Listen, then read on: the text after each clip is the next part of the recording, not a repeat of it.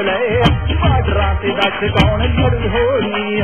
ਇਹੋ ਜਿਹੀਆਂ ਗੱਲਾਂ ਕਿੱਥੀਆਂ ਚ ਲਿਖ ਕੇ ਕਰਿਆ ਨਾ ਕਰ ਦਿਲ ਕਮਜ਼ੋਰ ਨੀ ਤੂੰ ਇਹੋ ਜਿਹੀਆਂ ਗੱਲਾਂ ਕਿੱਥੀਆਂ ਚ ਲਿਖ ਕੇ ਕਰਿਆ ਨਾ ਕਰ